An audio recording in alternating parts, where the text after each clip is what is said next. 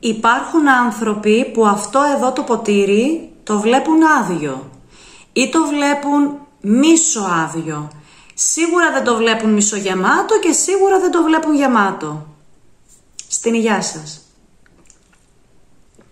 Τι θέλω να σας πω, φέρνοντάς σας ως παράδειγμα αυτό το ποτήρι.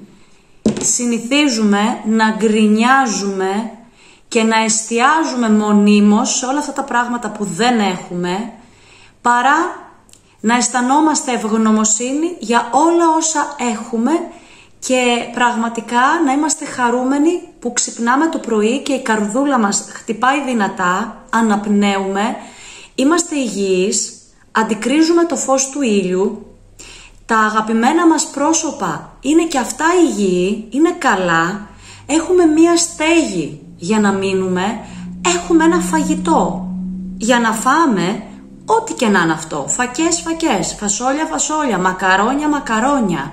Είμαστε αρτιμελείς, έχουμε καθαρό νερό. Φανταστείτε ότι υπάρχουν μέρη στον πλανήτη μας που οι άνθρωποι δεν μπορούν να πιούν το νερό. Είναι τόσο βρώμικο που δεν μπορούν να πιούν νεράκι. Και εμείς έχουμε το νερό και πίνουμε.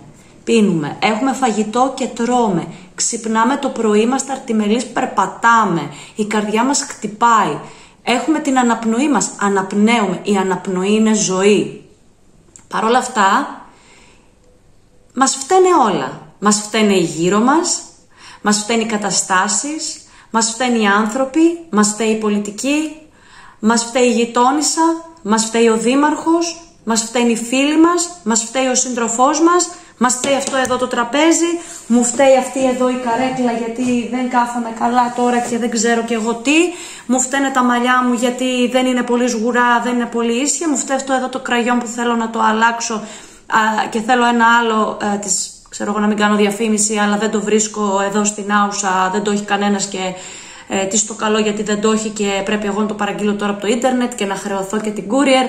Μου φταίει το αφεντικό μου, μου φταίει η δουλειά μου, δεν μου αρέσει η δουλειά μου, δεν μου αρέσουν τα νύχια μου, δεν μου αρέσουν τα παπούτσια μου, τίποτα δεν μας αρέσει. Και με ρωτάει κάποιος ε, κάτω στα σχόλια από ένα βίντεο, ε, φανεί όλα πάνε στραβά. Δεν, όλα μαύρα τα βλέπω. Όλα μου μοιάζουν μάταια. Μου είπε τα προβλήματά τους στα σχόλια, έτσι ανοιχτά τα σχόλια κάτω από το βίντεο. Μπορεί ο καθένας να τα δει σε προηγούμενο βίντεο.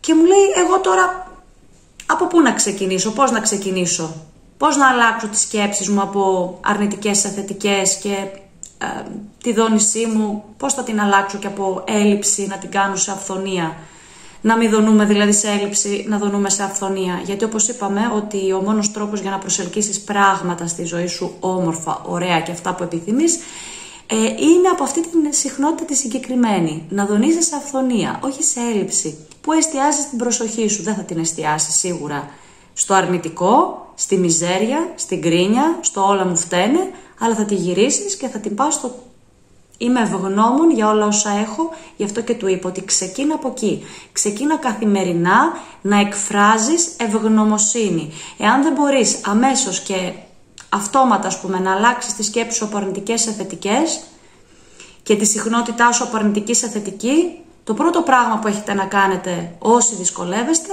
είναι να πάρετε ένα χαρτί, ένα μολύβι και ένα στυλό και να γράφετε καθημερινά το πρωί με το που ξυπνάτε, το πιο απλό σας λέω, πέντε πράγματα για τα οποία είστε ευγνώμων. Πέντε πράγματα που θέλετε πραγματικά να ευχαριστήσετε το Θεό που τα έχετε. Ποια είναι αυτά τα πέντε; Δεν θέλω όμως μόνο να μου τα πείτε. Όχι εμένα, γενικώς να τα πείτε. Δεν θέλω να τα πείτε, δεν θέλω να τα μιλήσετε, θέλω να τα γράψετε. Γιατί οτιδήποτε το γράφεις στο χαρτί, εστιάζεις περισσότερο την προσοχή σου εκεί, κατευθύνεις τον εγκέφαλό σου, του δίνεις εντολή, είμαι ευγνώμων εγώ για αυτά τα πράγματα, αμέσως νιώθεις ικανοποίηση που τα έχεις, χαρά που τα έχεις και έστω και αυτή η λίγη χαρά, αυτή η λίγη ικανοποίηση είναι ικανή, αν το κάνεις καθημερινά, να αρχίσει να σου αλλάζει όχι μόνο τη σκέψη σου από αρνητικές σε αλλά και τη συχνότητα στην οποία εκπέμπεις και βγάζεις προς τα έξω προς το πεδίο των απεριόριστων δυνατοτήτων, γιατί είπαμε ότι το όμοιο έλκει το όμοιο και αν βγάζεις εσύ μονίμως γκρίνια, μιζέρια, να, να, να, να, να, Άλλα τέτοια θα παίρνεις πίσω περισσότερα και άλλα τέτοια και άλλα τέτοια. Πάμε λίγο να τα αλλάξουμε. Και αυτή η άσκηση της ευγνωμοσύνης η καθημερινή, καταγράφοντας πέντε πράγματα για τα οποία ευχαριστείτε το Θεό που τα έχετε, θα σας βοηθήσει σιγά σιγά, είναι ένα πρώτο βήμα για να αλλάξετε τις δονήσεις σας, την ενέργεια, την ενέργειά σας. Και από αρνητική να την κάνετε θετική. Και να σταματήσετε να βλέπετε αυτό το ποτήρι άδειο ή μισοάδιο. Γεμάτο είναι. Και έχει ένα πάρα πολύ ωραίο δροσερό πεντανόστιμο νεράκι. Και μ' αρέσει. Κάθε του γουλιά μου δίνει ζωή. Το απολαμβάνω, είναι πραγματικά ευτυχία αυτή τη στιγμή. Μέσα σε αυτή τη ζέστη, γιατί πραγματικά έχει ζέστη, να πίνω νερό και είναι καθαρό και είναι ευλογημένο. Το λέω και να τριχιάζω. Κάντε την άσκηση της ευγνωμοσύνης, είναι πάρα πολύ σημαντική. Από κάπου πρέπει να ξεκινήσετε, από κάπου πρέπει να αρχίσετε. Όσοι έχετε πιάσει πάτο και δεν μπορείτε να τραβήξετε τον εαυτό σας από τον πάτο, να τον ανεβάσετε έστω λίγο προς τα πάνω. Ξεκινήστε λοιπόν με αυτή την άσκηση και σταματήστε να γκρινιάζετε για τα πάντα όλα γύρω σας, να σας φταίνε όλα, να είχα μια κοπέλα μου στείλε ένα μήνυμα, θα το πω και αυτό και θα κλείσω το βίντεο, είναι ένα δεύτερο παράδειγμα. Ε, ήθελε πάρα πολύ καιρό να αλλάξει δουλειά. Γιατί στο περιβάλλον που ήταν υπήρχαν κάποια συγκεκριμένα άτομα, τη ζόριζαν, ήταν τοξικά, έλεγε ότι ήταν τοξικά, το ένα το άλλο. Τέλος πάντων, έψαξε, βρήκε μια άλλη δουλειά, καλύτερο μισθό. Θεώρησε ότι εκεί που θα πάει θα είναι καλύτερα.